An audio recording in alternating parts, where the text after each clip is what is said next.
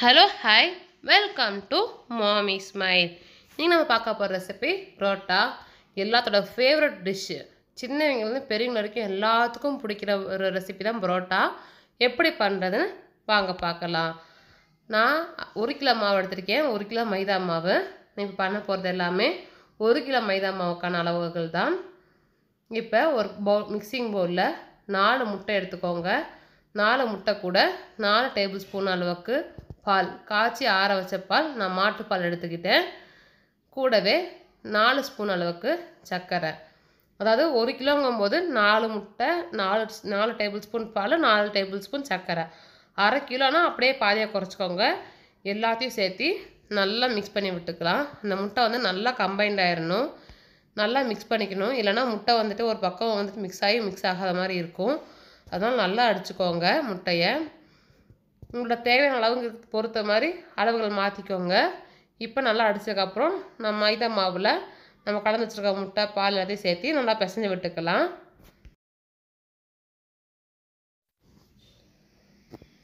முட்டை பால் எல்லாத்தையும் சேர்த்து நல்லா பிசைஞ்சு விட்டுக்கோங்க. நல்லா பிசையும் போது கொஞ்சம் கட்டி விழுகிற மாதிரி தான் இது வந்துட்டு கலந்து விட முடியும். ஏன்னா தண்ணி இது ஊற்றாதனால நல்லா மிக்ஸ் பண்ணிக்கோங்க ஃபஸ்ட்டு எல்லா இடத்துலையும் நல்லா ஈவனாக ஸ்ப்ரெட் ஆனதுக்கப்புறமா நம்ம தண்ணி சேர்த்திக்கலாம். நல்லா மிக்ஸ் பண்ணிங்கன்னா ஒரு மாதிரி மா மாவு பொறு பொறுங்கிற மாதிரி அதாவது புருடு புருடாக இருக்க மாதிரி இருக்கும். உங்களுக்கு பார்த்தீங்கன்னா தெரியும். நல்லா மிக்ஸ் பண்ணிட்டேன் இப்போ. பாருங்கள் எப்படி இருக்குன்ட்டு.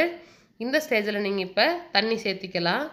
தண்ணி தேவையான அளவு சேர்த்திக்கோங்க. மாவு ரொம்ப இலக்கமாக போயிடக்கூடாது அதே சமயம் ரொம்ப கெட்டியாக இருக்கக்கூடாது. சப்பாத்தி மாவு கொஞ்சம் சாஃப்டாக பிசைகிற மாதிரி பிசைஞ்சுக்கணும். பூரிக்கு வந்து நம்ம கெட்டியாக பிசைவோம். அந்த மாதிரி இல்லாமல் கொஞ்சம் சாஃப்டாக பிசைஞ்சுக்கோங்க. உப்பு தேவையான சேர்த்திக்கோங்க மாவுக்கு. எல்லாத்தையும் சேர்த்து நல்லா பிசைஞ்சுக்கலாம். இப்போ ஒரு அஞ்சு நிமிஷம் பிசைஞ்சதுக்கப்புறமா கீழே நம்மளோட ஒர்க்கிங் ஏரியாவில் கொஞ்சமாக மாவை டஸ்ட் பண்ணிக்கோங்க. மைதா மாவு நான் டஸ்ட் பண்ணிக்கிட்டேன். இப்போ மாவு எல்லாத்தையும் எடுத்து கீழே போட்டு நல்லா இழுத்து இழுத்து பிசைஞ்சு விடணும். இழுத்து இழுத்து பிசையும் போதா மாவில் வந்துட்டு அந்த மாதிரி சாஃப்ட்னஸ் வரும். அதனால் நல்லா ஒரு பத்து நிமிஷத்துக்காக நல்லா இழுத்து இழுத்து பிசைஞ்சுக்கோங்க. நம்ம மாவு பிணையிறதுல வந்துட்டு நம்ம புரோட்டா எப்படி வருது வரலைங்கிறதே டிசைட் பண்ணும். அதனால எவ்வளோ சாஃப்டாக பிணைய முடியுமோ அவ்வளோ சாஃப்டாக பிசைஞ்சுக்கோங்க. நல்லா இழுத்து இழுத்து பிசைஞ்சுக்கோங்க.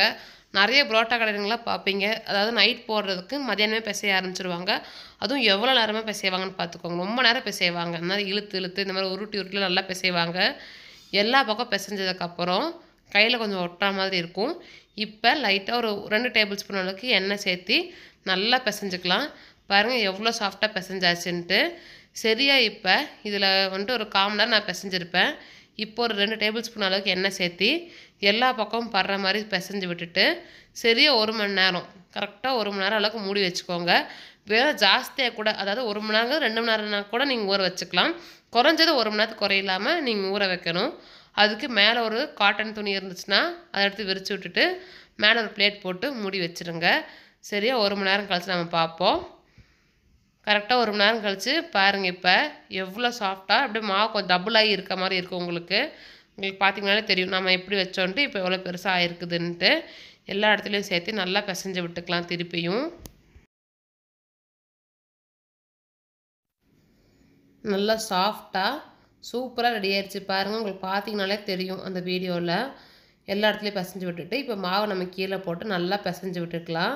திருப்பியும் இப்போ பாருங்கள் கையிலலாம் எங்கேயும் ஒட்டாத மாதிரி சூப்பராக ரெடி ஆயிடுச்சு இப்போ கொஞ்சமாக கையில் எண்ணெய் தொடச்சிக்கோங்க. எண்ணெய் தொடச்சிட்டு இப்போ மாவை நம்ம வந்துட்டு அப்படி மெதுவாக இழுத்து இழுத்து இந்த மாதிரி ஃபோல்ட் பண்ணி ஃபோல்ட் பண்ணிக்கோங்க. கரெக்டாக வந்துட்டு கிராக் வராத மாதிரி இப்படி அமுத்துனீங்கன்னா பால் மாதிரி வரும். இந்த மாதிரி உருண்டை பிடிச்சி ரெடி எடுத்து வச்சுக்கலாம் நம்ம இப்போ.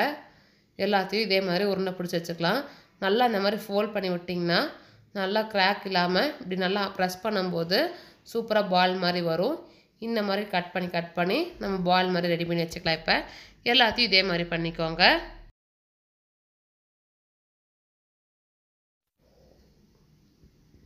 மாவு எவ்வளோ சாஃப்டாக இருக்குதோ அப்போ தான் இவ்வளோ சூப்பராக வரும். கொஞ்சம் கெட்டியாக இருக்க மாதிரி இருந்துச்சுன்னா இல்லை கொஞ்சம் இலக்கமாக போச்சுன்னா கையில் ஒட்டுற மாதிரி இருக்கும். அதனால் பார்த்து பதமாக பிசைஞ்சுக்கோங்க. இப்போ பாருங்கள் எல்லாத்தையும் நம்ம பால்ஸ் வந்து ரெடி பண்ணியாச்சு. இப்போ மேலே ஒரு ரெண்டு டேபிள் ஸ்பூன் அளவுக்கு எண்ணெய் சேர்த்து திருப்பி நம்ம இதையை ஒரு மணி நேரம் போல் ஊற வைக்க போகிறோம் எல்லா இடங்கள்லையும் படுற மாதிரி மாவை வந்துட்டு இந்த எண்ணெய் தொடை வச்சுக்கோங்க. திருப்பி மேலே துணி போட்டு ஒரு மணி நேரம் போல் நம்ம ஊற வச்சுக்க போகிறோம் இதையை. எவ்வளோக்கு எவ்வளோ மாவு ஊறுதோ அப்போ தான் ரொம்ப சாஃப்டாக இருக்கும். அதனால் கண்டிப்பாக ஒரு மணி நேரத்துக்கு குறையில்லாமல் ஊற வச்சு எடுத்துக்கோங்க. பாருங்கள் மறுபடியும் அதே மாதிரி அதே துணியை விரிச்சு விட்டு மேலே ஒரு பிளேட் போட்டு முடிக்கலாம். சரியா ஒன்றரை மணி நேரம் ஆயிடுச்சு இப்போ. மாவு பால்ஸ் பாருங்கள் நல்லா டபுளாகி வந்திருக்கும். இப்போ மாவை நம்ம விரிக்க போகிறோம் அதுக்கு பிளேட்டோட பேக் சைடு எடுத்துக்கோங்க. பேக் சைடில் நம்ம மாவை வச்சு அதை ஸ்ப்ரெட் பண்ணி நம்ம விரிச்சுக்கலாம். அதாவது வந்துட்டு திருப்பி நம்ம மாவை துவைப்பாங்க பார்த்துருக்கீங்களா? அது துவைக்காமல் கொஞ்சம் ஈஸியான மெத்தடாக நம்ம இப்போ பண்ண போகிறோம் இந்த மாதிரி பிளேட்டில் ஒரு ஒரு பாலாக எடுத்து இந்த மாதிரி விரித்து விட்டுக்கோங்க. கையில் அது ஈஸியாகவே போகும். ஏன்னா நம்ம எண்ணெய் நிறைய தொட்டிருக்கனால அது ஈஸியாகவே போகும். நல்லா ஸ்ப்ரெட் பண்ணி விட்டுக்கோங்க இப்படி. எல்லா இடத்துலையும் படுற மாதிரி ஸ்ப்ரெட் பண்ணிக்கோங்க.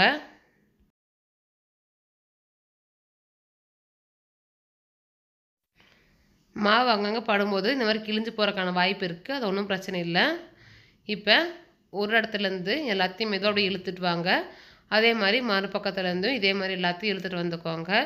எல்லாத்தையும் சென்டரில் வச்சு எடுத்து நம்ம அப்படியே ரோல் பண்ணிக்க போகிறோம் இது ஒரு டைப்பு எனக்கு வந்துட்டு பிளேட் நகர்ந்துட்டே இருக்கிறனால நான் கீழே ஒரு வந்துட்டு துணி விரிச்சுக்கிட்டேன். துணி மேலே நான் பிளேட் வச்சுக்கிட்டேன். இப்போ பாருங்கள் வச்சு அப்படியே மெதுவாக ரோல் பண்ணிக்கலாம். ரொம்ப அமுத்தி ரோல் பண்ண வேண்டாம்.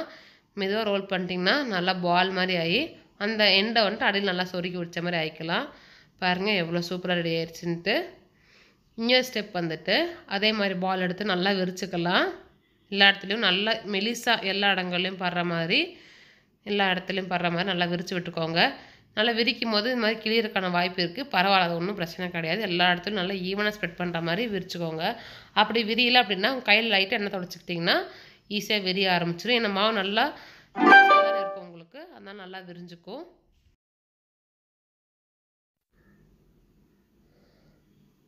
எல்லா இடத்துலையும் ஈவனாக ஸ்ப்ரெட் பண்ணதுக்கப்புறமா ஒரு கத்தி எடுத்துக்கோங்க. எல்லா இடத்துலையும் இந்த மாதிரி ஃபுல்லாக கிராக் மாதிரியே லைன் போட்டு இழுத்து இழுத்து கட் பண்ணி விட்டுக்கோங்க.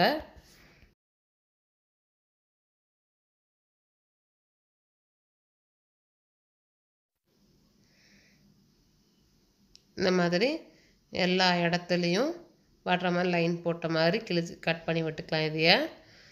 கட் பண்ணி விட்டுட்டு எல்லாத்தையும் சென்டராக கொண்டு வந்துக்கலாம். நம்ம அந்த மாதிரி ஃபோல்ட் பண்ணியும் பண்ணலாம். இந்த இல்லைன்னா இந்த மாதிரி கட் பண்ணி கூட பண்ணலாம். இப்போ இதை எடுத்து அப்படியே நம்ம ரோல் பண்ணிக்கலாம்.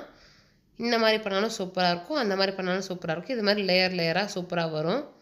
பாருங்கள் நம்ம ஃபோல்ட் பண்ணணும் டைட்டாக ஃபோல்ட் பண்ணக்கூடாது. இந்த மாதிரி லூஸாக ஃபோல்ட் பண்ணி நான் அந்த எண்ணெய் வந்துட்டு பின்னாடி பேக் சைடில் அமுத்தி வச்சிடணும்.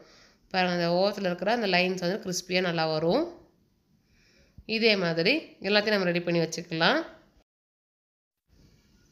இப்போ பாருங்கள் எல்லாத்தையும் நம்ம இந்த மாதிரி ரோல் பண்ணி வச்சாச்சு. எனக்கு சரியாக ஒரு கிலோ மாவுக்கு இருபத்தேழு புரோட்டா வந்துடுற மாதிரி வர மாதிரி இந்த ரோல் பண்ணி வச்சுக்கிட்டேன். பாருங்கள் எவ்வளோ சூப்பராக நல்லா ப்ளஃபியாக வந்திருக்குன்ட்டு. இப்போ நம்ம இதையே எல்லா இடத்துலையும் நல்லா ஆயில் வந்து க்ரீஸ் பண்ணி வச்சுக்கலாம். ஏன்னா நம்ம போடுற வரைக்கும் இது காஞ்சு போயிடக்கூடாது. இல்லைன்னா மேலே துணியை கூட விரித்து வச்சுக்கோங்க. இப்போ நம்ம தோசைக்கல்லாம் வந்துட்டு ஹீட் பண்ணிடலாம். நல்லா சூடாகணும். எல்லா இடத்துலையும் ஆயில் படுற மாதிரி நல்லா ஸ்ப்ரெட் பண்ணி விட்டுக்கோங்க.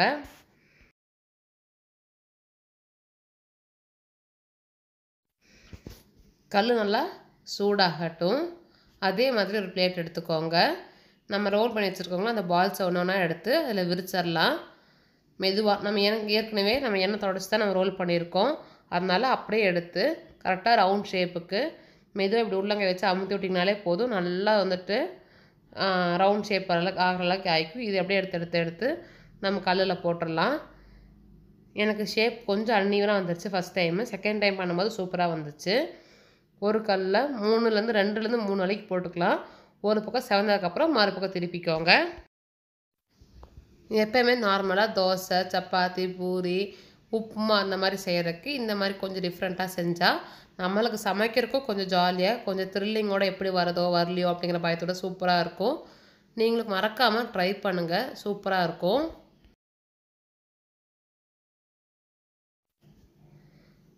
பாருங்களேன் ரெண்டு பக்கம் இந்த மாதிரி நல்லா செவந்ததுக்கப்புறமா நம்ம எடுத்துக்கலாம்.